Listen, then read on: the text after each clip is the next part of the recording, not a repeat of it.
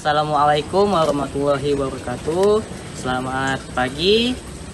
Di sini saya dan teman saya melakukan wawancara terhadap pada petani hidroponik yang ada di sekitar Pontianak.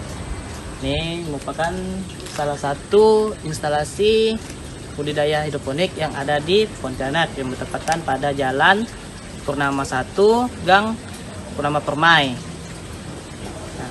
Sebelumnya saya perkenalkan nama saya Muhammad Kafizan Eka Wardana. NIM C10121911002 Prodi Agroteknologi PPAPK Fakultas Pertanian Universitas Tanjung Pura. Baik, di sini kami sudah bersama salah satu petani hidroponik yang ada di sekitar Pontianak. Nah, mungkin boleh perkenalan Pak, siapa nama Bapak? Jumadik Arajik Uh, umur Bapak 43 43 tahun. Baik, terima kasih kepada Bapak. Nah, saya ingin bertanya Pak yang Bapak lakukan dalam budidaya secara hidroponik ini. Bapak menggunakan jenis instalasi apa Pak?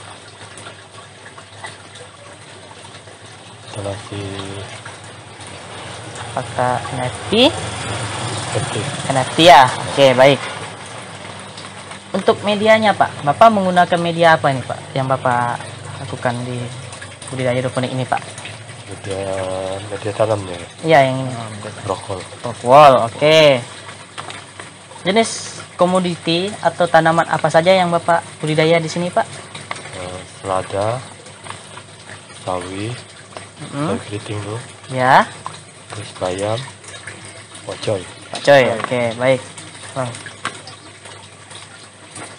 Hmm, gimana? Gimana? Eh, untuk penyemaian bibitnya Pak, baga- eh, caranya gimana Pak? cara penyembelihannya Pertama. sekitar tujuh hari Dalam tiga hari ya.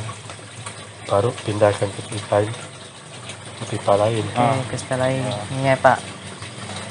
Baik, seperti ini tanamannya ini kawan-kawan. oh, Wow. Untuk penyiapan larutan nutrisi Pak, mana? Nutrisi yang Bapak gunakan itu apa Pak? Di air ini ya dan tes pH nya ini Jenis jenisnya Mm-mm. Oh, larutan. cair lah Oh, nama merek mereknya Pak? nutrisi Nutrisi Abemik gitu. Akademik. oh, Oke. Untuk eh, penanamannya kan umur berapa penanamannya apa kesamaan ke instalasinya Pak?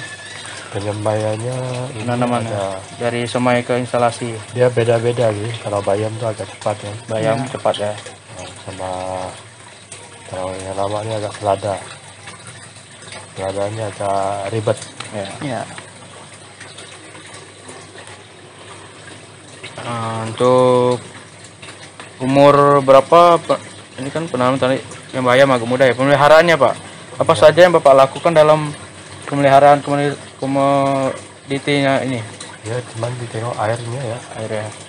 Kita spray ini. Dan kalau cuaca panas tuh dia kurang kurang bagus sih. Hmm. ya habis. Oke. Ya Bang, Pak. untuk masa panen ya Pak ya. Umur biasa biasa panen Pak. Kalau pocoy Pak Coy 30 hari.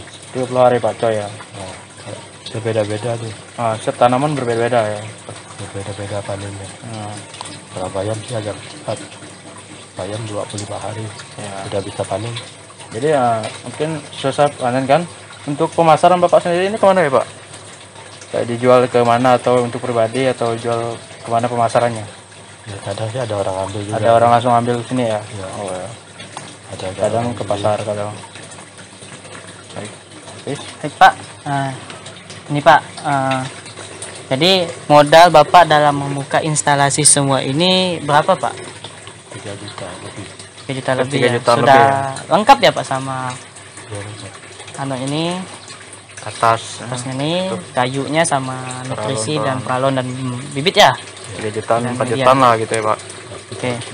Dan apakah dalam Bapak membudidaya secara hidroponik ini Bapak mempunyai keuntungan sendiri Pak? iya Ada. Ada ya Pak. Mungkin Bap, kalau kami boleh tahu Pak, kalau Bapak izinkan, kira-kira berapa Pak? Untuk masalah per kiloannya atau ya? Ini kalau keuntungan bapaknya lah jarang jual jualan oh ya Oh, jarangnya per kantong ya. kantong Itu berapa pak? satu kantong tuh sepuluh ribu sepuluh ribu, 10.000. kantong. Beratnya enggak dan nanti beratnya tiga on lebih tiga on lebih lebih ya, ya. oh iya. Oke baik pak. Baik sampai sini saja video apa sampai sini aja wawancara yang kami lakukan kepada bapak.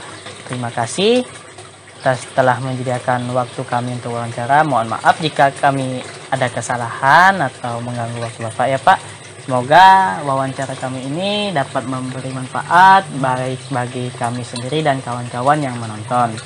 Sekian dari saya. Wassalamualaikum warahmatullahi wabarakatuh. Selamat pagi. down, down, down.